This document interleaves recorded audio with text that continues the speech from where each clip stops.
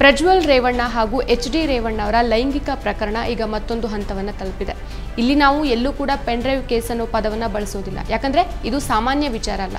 ಎರಡೂವರೆ ಸಾವಿರ ಹೆಣ್ಮಕ್ಳ ಜೀವನದ ಪ್ರಶ್ನೆ. ಹಾಗಾಗಿ ಮುಂದೆ ನಮ್ಮಲ್ಲಿ ಬರುವಂಥ ಎಲ್ಲ ವಿಡಿಯೋಗಳಲ್ಲೂ ನಾವು ಪ್ರಜ್ವಲ್ ರೇವಣ್ಣ ಮತ್ತು ಎಚ್ ಡಿ ರೇವಣ್ಣ ಅವರ ಲೈಂಗಿಕ ಪ್ರಕರಣ ಅನ್ನೋ ಪದವನ್ನೇ ಬಳಸಲಾಗುತ್ತೆ. ಹಾಸನ ಸಂಸದ ಪ್ರಜ್ವಲ್ ರೇವಣ್ಣ ಕುಟುಂಬದ ವಿರುದ್ಧ ಹೊಸದಾಗಿ ಮತ್ತೊಂದು ಪ್ರಕರಣ ದಾಖಲಾಗಿದೆ.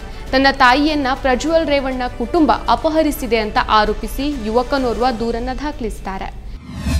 ಈಗ ವಿಷಯಕ್ಕೆ ಬರೋದಾದ್ರೆ ಮನೆ ಕೆಲಸದ ಮಹಿಳೆ ಹಾಗೂ ಅವರ ಮಗಳ ಮೇಲೆ ಲೈಂಗಿಕ ದೌರ್ಜನ್ಯ ಎಸಗಿದ ಆರೋಪದಡಿ ಪ್ರಜ್ವಲ್ ರೇವಣ್ಣ ವಿರುದ್ಧ ಹೊಳೆನರಸೀಪುರ ಟೌನ್ ಠಾಣೆಯಲ್ಲಿ ಮೊದಲ ಪ್ರಕರಣ ದಾಖಲಾಗಿತ್ತು. ಮೊದಲ ದೂರನ್ನ ಆಧರಿಸಿ ಎಸ್ಐಟಿ ತನಿಖೆ ನಡೆಸುತ್ತಿದ್ದಂಥ ನಡುವೆಯೂ ಪ್ರಜ್ವಲ್ ವಿರುದ್ಧ ಮತ್ತೊಬ್ಬ ಮಹಿಳೆ ಪೊಲೀಸರಿಗೆ ದೂರನ್ನ ನೀಡಿದ್ರು. ಅದನ್ನ ಎಸ್ಐಟಿಗೆ ಹಸ್ತಾಂತರಿಸಲಾಗಿದ್ದು, ಈಗ ಮೈಸೂರಿನಲ್ಲಿ ರೇವಣ್ಣವರ ಕುಟುಂಬದ ವಿರುದ್ಧವೇ ಪ್ರಕರಣ ದಾಖಲಾಗಿದೆ.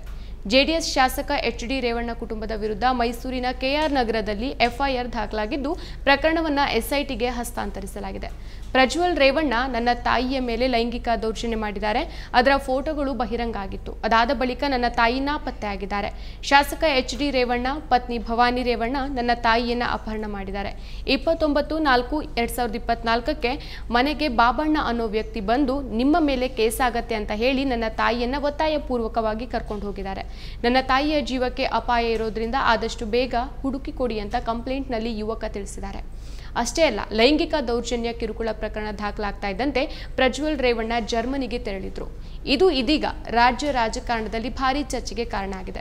ಪ್ರಜ್ವಲ್ ಅವರನ್ನ ವಿದೇಶಕ್ಕೆ ಹೋಗುವಂತೆ ಹೇಳಿದ್ಯಾರು ವೀಸಾ ಇಲ್ಲದೆ ದಿಢೀರ್ ವಿದೇಶಕ್ಕೆ ಹೋಗಿದ್ ಹೇಗೆ?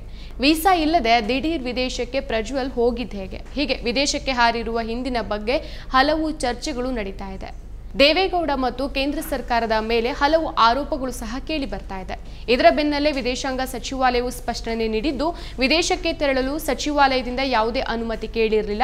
ವಿದೇಶಾಂಗ ಇಲಾಖೆಯಿಂದ ಯಾವುದೇ ವೀಸಾ ನೋಟನ್ನು ಕೂಡ ನೀಡಿಲ್ಲ. ಬದಲಾಗಿ ಅವರು ರಾಜತಾಂತ್ರಿಕ ಪಾಸ್ಪೋರ್ಟ್ ಮೂಲಕ ವಿದೇಶಕ್ಕೆ ಹೋಗಿದ್ದಾರೆ ಅನ್ನೋ ಸ್ಪಷ್ಟನೆಯನ್ನ ನೀಡಿದೆ.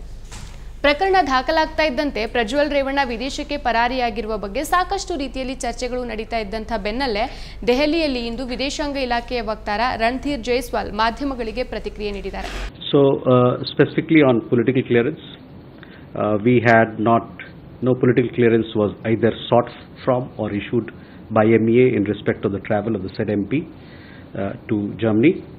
Obviously, no visa note was issued either. No visa is required for diplomatic passport holders to travel to Germany. Uh, the ministry has also not issued any visa note for any of the country for the said member of parliament. मैं इनका पहले जवाब दे दूं फिर उसको you had the second question was regarding whether he travelled on a diplomatic passport yes he travelled on a diplomatic passport Prajwal Revanna ಜರ್ಮನಿಗೆ ತೆರಳೋಕೆ ನಾವು ಕೂಡ ಅನುಮತಿ ನೀಡಿಲ್ಲ. ವಿದೇಶಾಂಗ ಇಲಾಖೆಯಿಂದ ಯಾವುದೇ ವೀಸಾ ನೋಟನ್ನು ಸಹ ಕೊಟ್ಟಿಲ್ಲ. ರಾಜತಾಂತ್ರಿಕ ಪಾಸ್ಪೋರ್ಟ್ ಹೊಂದಿರುವವರಿಗೆ ಯಾವುದೇ ವೀಸಾ ಅಗತ್ಯ ಇಲ್ಲ. ಜರ್ಮನಿಗೆ ಪ್ರಯಾಣಿಸಲು ಸಚಿವಾಲಯವು ವೀಸಾ ಟಿಪ್ಪಣಿಯನ್ನು ಸಹ ನೀಡಿಲ್ಲ. ರಾಜತಾಂತ್ರಿಕ ಪಾಸ್ಪೋರ್ಟ್ನಲ್ಲಿ ಪ್ರಜ್ವಲ್ ರೇವಣ್ಣ ಪ್ರಯಾಣಿಸಿದ್ದಾರೆ ಅಂತ ಸ್ಪಷ್ಟಪಡಿಸಿದ್ದಾರೆ. ಈ ಮೂಲಕ ಪ್ರಜ್ವಲ್ ರೇವಣ್ಣ ರಾಜತಾಂತ್ರಿಕ ಪಾಸ್ಪೋರ್ಟ್ ಮೂಲಕ ಜರ್ಮನಿಗೆ ಹಾರಿರೋದು ಖಚಿತ ಆಗಿದೆ. ಇನ್ನು ಇದೇ ರಾಜತಾಂತ್ರಿಕ ಪಾಸ್ಪೋರ್ಟ್ ಅನ್ನು ರದ್ದುಗೊಳಿಸುವಂತೆ ಸಿಎಂ ಸಿದ್ದರಾಮಯ್ಯ ಮೋದಿಗೆ ಪತ್ರ ಬರೆದಿದ್ದಾರೆ. ಮಹಿಳಾ ದೌರ್ಜನ್ಯದಂತಹ ಗುರುತರ ಆರೋಪ ಹೊತ್ತಿರುವ ಹಾಲಿ ಸಂಸದ ಹಾಗೂ ಎನ್ಡಿಎ ಮೈತ್ರಿಕೂಟದ ಲೋಕಸಭಾ ಅಭ್ಯರ್ಥಿ ಪ್ರಜ್ವಲ್ ರೇವಣ್ಣ ಅವರ ಅಶ್ಲೀಲ ವಿಡಿಯೋ ಪ್ರಕರಣದ ತನಿಖೆಗಾಗಿ ರಾಜ್ಯ ಸರ್ಕಾರವು ವಿಶೇಷ ತನಿಖಾ ತಂಡವನ್ನು ರಚಿಸಿದೆ. ಈ ನಡುವೆ ಆರೋಪಿಯು ರಾಜತಾಂತ್ರಿಕ ಪಾಸ್ಪೋರ್ಟ್ ಅನ್ನು ಬಳಕೆ ಮಾಡಿಕೊಂಡು ವಿದೇಶಕ್ಕೆ ಪರಾರಿಯಾಗಿರುವ ಬಗ್ಗೆ ವರದಿಯಾಗಿದೆ.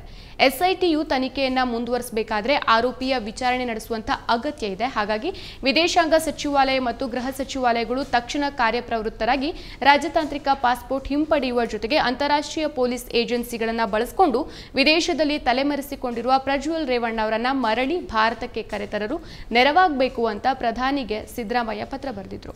ಇನ್ನು ಪ್ರಜ್ವಲ್ ರೇವಣ್ಣ ಅವರ ಲೈಂಗಿಕ ಪ್ರಕರಣಕ್ಕೆ ಸಂಬಂಧಿಸಿದಂತೆ ಸಿಂಗಾಪುರದ ಅಂತಾರಾಷ್ಟ್ರೀಯ ಮಾಧ್ಯಮಗಳು ಕೂಡ ಸರಣಿ ಲೈಂಗಿಕ ದೌರ್ಜನ್ಯ ಎಸಗಿದ ಪ್ರಜ್ವಲ್ ರೇವಣ್ಣ ಅವರ ಸುದ್ದಿಯನ್ನು ಪ್ರಕಟಿಸಿದೆ. Outrage in India after hundreds of videos were showing member of parliament prime minister Narendra party allegedly abusing Uh, Prajwal Ravena, who is the grandson of former Indian Prime Minister H.D. Deve Gowda, has denied any wrongdoing, but was suspended from the Janata Dal Secular or the JDS party over these allegations. Police are investigating claims the MP assaulted several women. While his father, H.D. Ravenna, who is a legislator in the Karnataka State Assembly, has also been accused in a pub- police complaint lodged by a former employee of the family of sexual abuse. Bharat ಅಂತಂದ್ರೆ ಸಂಸ್ಕೃತಿ ಸಂಪ್ರದಾಯಗಳ ತವರೂರಾಗಿತ್ತು. ಆದರೆ ಮೋದಿ ಪರಿವಾರದ ಇಂಥ ಕ್ರಿಮಿಗಳಿಂದ ನಮ್ಮ ಕರ್ನಾಟಕದ, ನಮ್ಮ ಭಾರತದ ಹೆಮ್ಮೆ ಮಣ್ಪಾಲಾಗ್ತಾ ಇದೆ.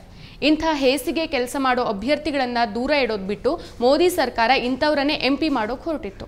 ದುಡ್ಡು, ಅಧಿಕಾರದ ದರ್ಪವನ್ನ ಇಟ್ಕೊಂಡು ನಾಚಿಕೆಗೇಡಿನ ಕೆಲಸ ಮಾಡ್ತಾ ಇದ್ದದ್ದು ಗೊತ್ತಿದ್ರೂ ಕೂಡ ನೀವು ಮತ್ತೊಮ್ಮೆ ಆತನಿಗೆ ಟಿಕೆಟ್ ನೀಡಿದ್ದೀರಾ? ಯಾಕೆ? ಮತ್ತೊಂದಿಷ್ಟು ಮಹಿಳೆಯರ ಜೀವನವನ್ನು ಆತ ಹಾಳು ಮಾಡಲಿ ಅನ್ನೋ ಉದ್ದೇಶದಿಂದ ತಾನೆ? ಇದಕ್ಕೆಲ್ಲ ಮೋದಿ ಪರಿವಾರ ಏನು ಉತ್ತರ ಕೊಡುತ್ತೆ? ಆತನನ್ನ ತಕ್ಷಣವೇ ವಿದೇಶದಿಂದ ಕರೆತರೋ ಕೆಲಸ ಆಗಬೇಕಾಗಿದೆ. ಅನ್ಯಾಯ ಆದ ಸಂತ್ರಸ್ತೆಯರಿಗೆ ನ್ಯಾಯ ಒದಗಿಸಬೇಕಾಗಿದೆ. ಯಾವ ಮುಲಾಜಿಲ್ಲದೆ ಆತನಿಗೆ ಕಠಿಣ ಶಿಕ್ಷೆ ಆಗಬೇಕಾಗಿದೆ. ಮತ್ತಷ್ಟು ವಿಶೇಷ ವಿಡಿಯೋಗಳನ್ನು ನೋಡಲು ಮತ್ತು ಹೊಸ ವಿಡಿಯೋಗಳ ಬಗ್ಗೆ ತಿಳಿಯಲು Eedina dot com YouTube channel subscribe ಮಾಡಿ ಮತ್ತು ಬೆಲ್ ಐಕಾನ್ ಕ್ಲಿಕ್ ಮಾಡಿ.